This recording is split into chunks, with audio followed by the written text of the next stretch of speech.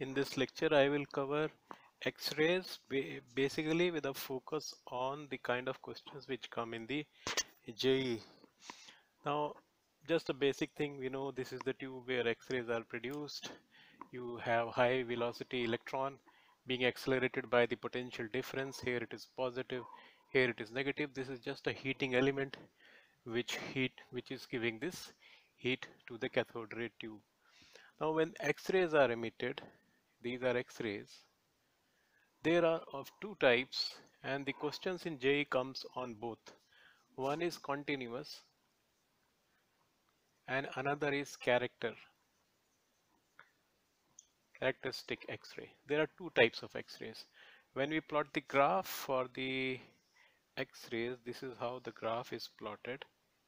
Here we show the intensity and it starts like this and this is how we do it and this is how it is shown. You can in the question you can be shown some peaks here also. Now this is the cutoff point cutoff wavelength. This here I am plotting the wavelength. This is the cutoff wavelength. Questions come on this this cutoff wavelength is dependent only on the potential difference V. Because this cut this is part of the continuous spectrum and this continuous spectrum is obtained for the simple reason that the kinetic energy of the electron which is EV where V is the potential difference here the energy is zero here the energy is EV means they are accelerated by this potential difference is being reflected as the energy of the photons. X-ray has photon high energy photons.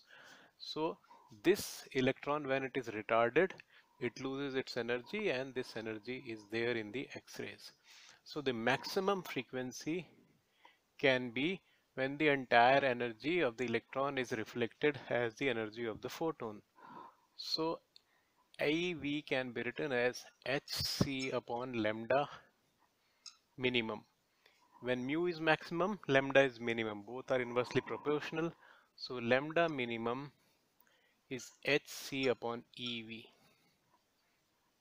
So in the problem, they can ask lambda minimum. I'll take one example, just some concepts I'll discuss. And for this, the formula you can straight away use is 1242 upon V in volts. You get lambda in nanometers. And if, if you write 12420, which is given in HC, uh, 12420, then you get lambda in angstrom and V is used in volts. So this is the wavelength of the photon.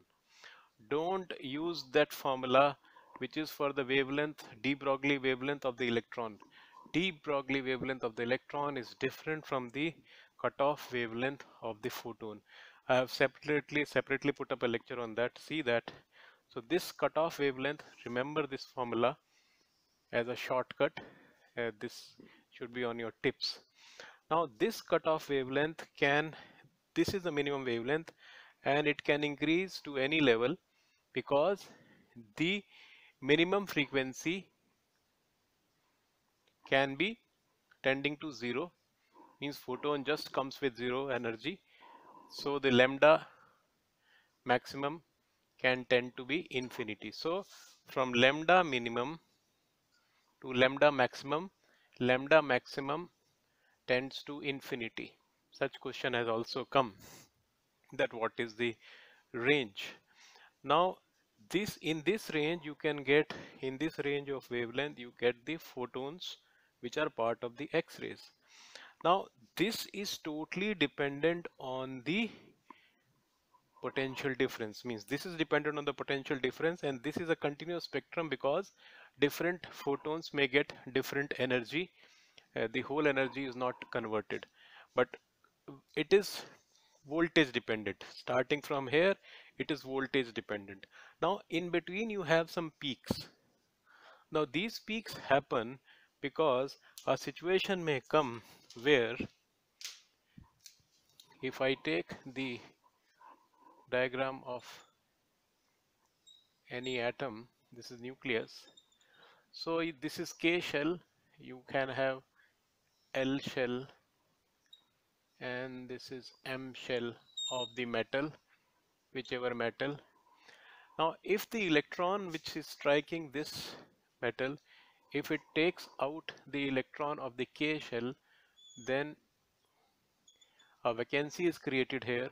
This electron has been taken out struck off taken out from K shell. So what can happen? You can have K alpha line means this is L sorry. This is L. K alpha line when the electron from the L shell jumps to the K shell basically the electron from the higher shells are coming down. Here you can have this will be k beta. And if I take one more shell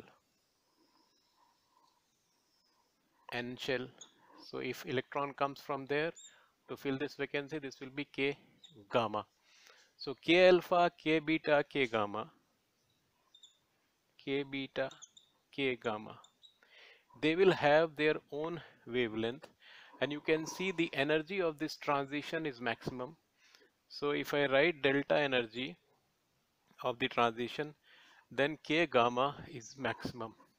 Means frequency of the gamma and this is frequency for beta and this is frequency for alpha so the frequency for the k alpha line will be the least and frequency from the k gamma line will be the maximum and lambda will be just the reverse.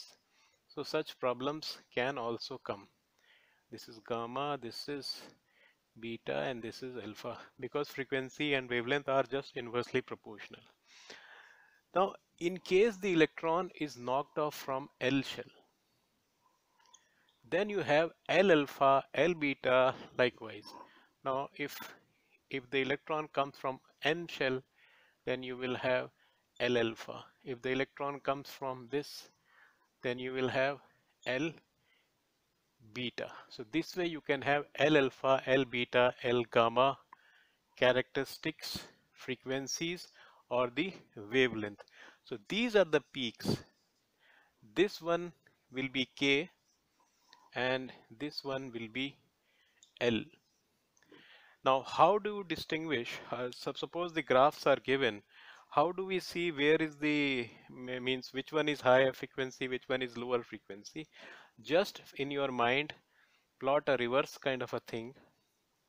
Plot a reverse like this. Plot frequency like this and also in your mind keep Z like this. Now you can see, you see from that side the frequency of k alpha, beta or gamma will be higher than the frequency of L alpha, L beta and L gamma simply because if you recollect the energy level diagrams you see the energy gaps are constantly reducing like this. This is K, this is L, this is M, this is N. So energy gap as you go upwards they reduce. So you see the maximum energy gain is there when things are coming to K shell. Now in case of L shell you can see these are the energy gains. So very clearly the delta energy when the electron is jumping to K shell from the higher shell is more than the delta energy when the electron is jumping to L shell from the higher shell.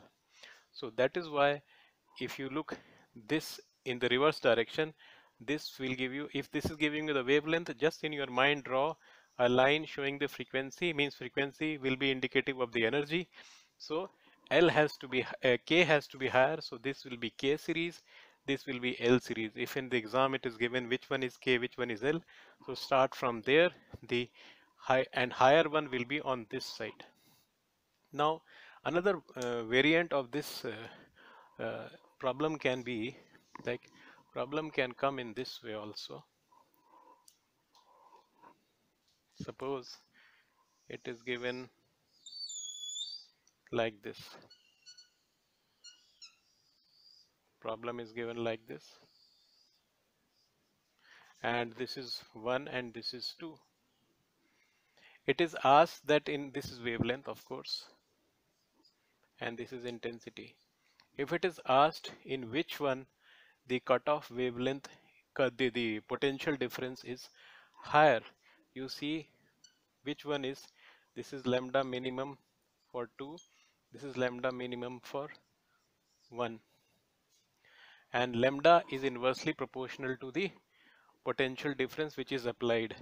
So lambda 2 is less than lambda 1 so v2 will be greater than v1 because it is inversely proportional. So this voltage for this case is higher than the voltage in this case. Such question can come. Then another question can be like you are given this kind of a series this you are given.